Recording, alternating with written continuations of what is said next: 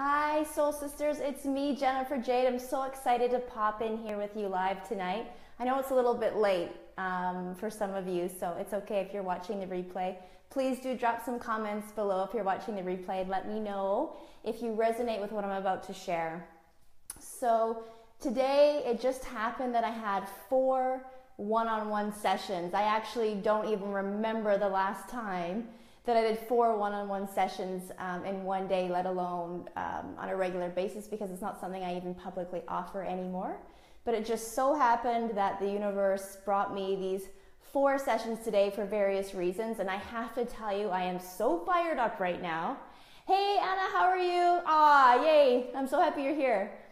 Um, because there's something that I feel really called to share. It's something that really tripped me up in my own business and just from working with clients, whether it's in group or one on one, I see um, I'm not the only one that it's tripping up. So, what I'm really encouraging you to do is instead of asking, What do I have to offer the world? and what does the world want from me and you know what gifts do i have that other people would want from me what would really um, what would sell well what is a good thing to base a business on um, I really want you to shift that. I encourage you to shift that into what is the message that I feel fired up to share? What is the message that I cannot leave this planet until I have shared it with the world, until I have empowered as many people as possible with this message?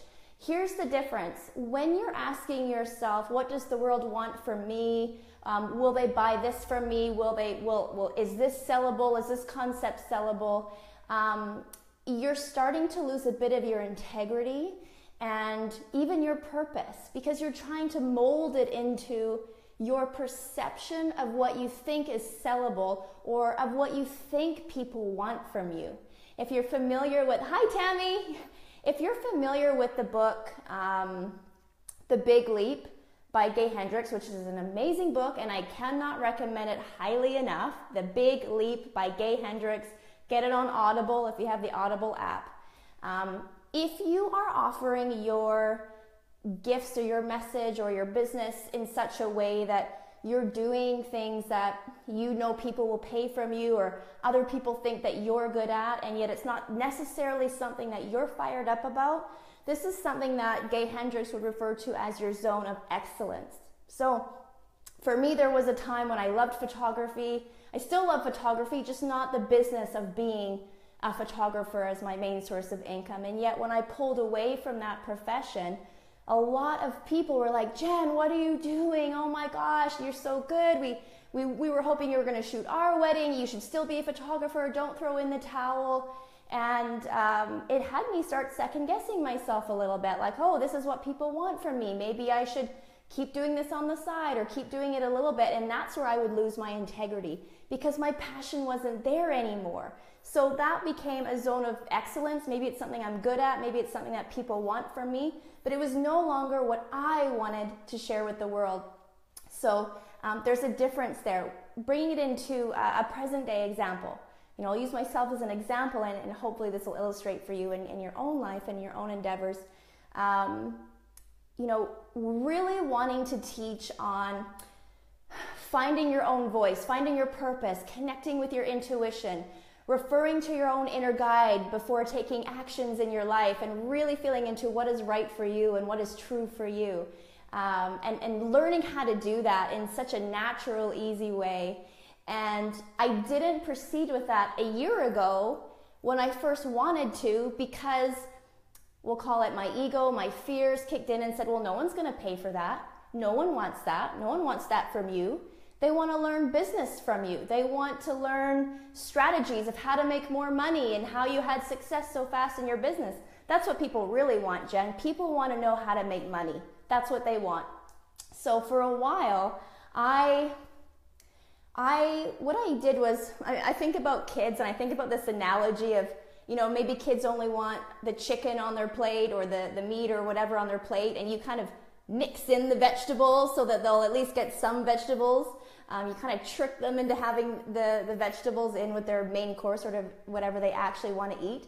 So I thought, okay, I will do this business thing that people are asking of me and, and wanting to pay me for, but I'm gonna mix in this intuition piece and the spiritual piece. I'm gonna kind of like slide it in there um, to really help people see the benefits of being aligned with your higher self, your spiritual self, and bringing that real, authentic you, aligned you into your business.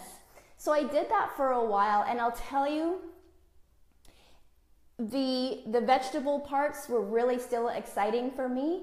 But if I picture a bathtub and I, I feel like someone pulled, say I had a full bathtub of water, which in the beginning of my business, which was all my inspiration, the whole reason I went into this business, the first clients I was, well, I mean, I'm inspired by all my clients, but like I was very, very ignited, very passionate, couldn't even sleep most nights. I was so excited to wake up and live my life and grow my business and, and connect with more people. And I found that when I didn't honor what I really wanted to share with the world, um, when I realized I wanted to move more into the intuition and the soul development, personal development side of things, spiritual personal development side of things, when I didn't honor that and instead I asked myself, well, what does the world want from me? What is sellable? What will people buy from me? This is a business. I need to keep afloat. When I did that, it's like someone took the plug out of my tub and the water slowly but surely started draining out. And this is what I would really love to save you from experiencing in your own life and in your own business if you haven't yet, or if you feel like that might be happening to you now. Um, I want you, I encourage you to ask yourself, what is my voice? What is my message? What do I want to be putting out into the world? And don't worry if not everybody wants it or if everybody's ready for it. Don't worry if your friends won't get it or your spouse doesn't understand at first or you know whatever it is. That's okay. Find people who do. Link arms, join forces with the people who do understand. Find them and seek support from them, support them back. Get clear on what you are being called to share with the world because that message was placed in your heart, in your soul for a reason. It, it's not an accident. The universe does not make mistakes. So trust that what you want to put out in the world is meant for you to put out in the world. And don't worry about, well, but I, I really think people just want to learn how to make more money, or I really think they would prefer if I created this kind of program, or if I angled it this way. No more thinking like that. It does not serve you, and it's not serving anybody else either. Stand in your power, stand in your truth, and watch how people are magnetized by your energy. And another thing that I want to share is that people are a lot more in tune, um, a lot more awakened. In, the, in even, I just feel like it's happening even more rapidly recently. Um, that I feel like, yes, there's still people who they just want to make a lot of money and have a lot of material things, and that's all good. And if that's where you're at, awesome. But that doesn't mean that you need to serve those people if that's not who you're feeling called to serve. If you're feeling called to someone, uh, serve someone on relationships or um, motherhood or health or um, whatever, spiritual practices, energy healing, whatever it is, do not worry that it's outside of the mainstream box because people need what your soul has been given to share. So I would really encourage you to dig deep and connect to what that is for you, what fires you up from the inside out, and speak that truth out into the world. And when you're doing that, you will also have the inspiration of what programs to create or what content to create or, you know, how you can serve your clients one on one or however you choose to do that. So, oh, yay, Jennifer. Oh, I'm so happy this was for you then. I, I felt this like bubbling out of my chest. I'm like, okay, well, somebody needs to hear this.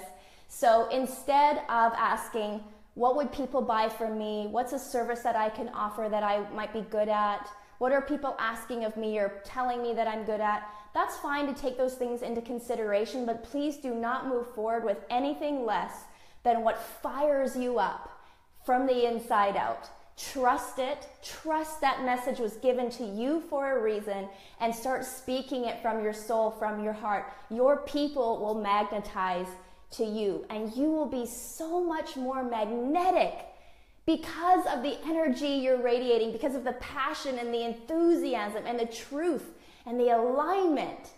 So, whatever your message is, no matter how unique or, or off the grid it is, start sharing it and start sharing it now. No more packaging it in ways that you think other people might buy it or might like to receive it from you. Speak from your full power. No ifs, ands, or buts. No cutting corners. No hiding the vegetables in the meat. None of that. No more. People are ready for you. They're ready for your message. That's why it's been placed in your soul. Start today. Start right now. I love you, and I will see you next time. Hey Trish, hey Jen, yay! So happy you're here. I love you ladies. I am sorry I can't see all the comments. Hey Colleen, oh my gosh, yay! So many beautiful souls in this group. I'm so, so grateful, and I'm sorry I can't see all the comments. If I didn't say hi to everybody, I will um, right now when I end this. I'm so thankful you're here. I love you. I, I truly do, whether we've met or not. Um, I know that we're all here on this planet at the same time for a reason. I'm so grateful that we've been brought together, and I hope that we do get to meet in person someday. So I love you. Have a great night, a great weekend, and I'll chat with you soon.